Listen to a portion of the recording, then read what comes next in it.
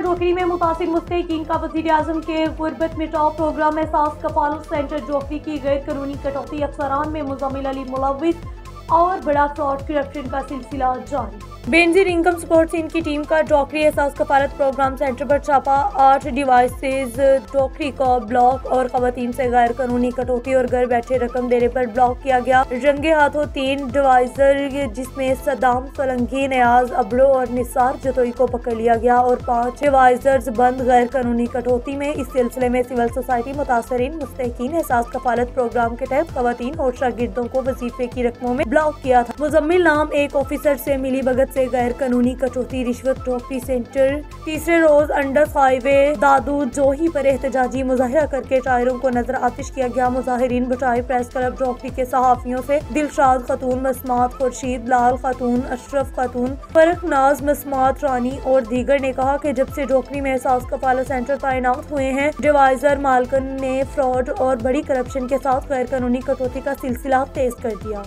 Chief justice और Ehsaas कफालत support programme के chairman Sania Nishtar से नोटिस का मुतालबा कर दिया। रिपोर्ट कर रहे थे मोहम्मद कासिम बघियो ग्रेट न्यूज़, लालकाना डॉकरी